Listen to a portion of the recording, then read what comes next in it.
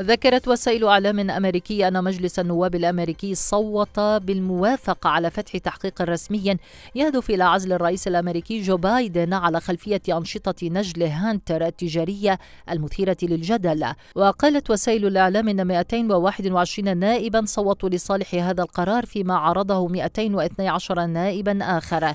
وقدم مشروع القرار الحزب الجمهوري والذي من شأنه توجيه لجان الرقابة والمساءلة والإيرادات والنفقات والسلطة القضائية في المجلس لمواصلة تحقيقاتها المستمرة حول ما إذا كانت هناك أسباب كافية لعزل الرئيس الأمريكي الحالي.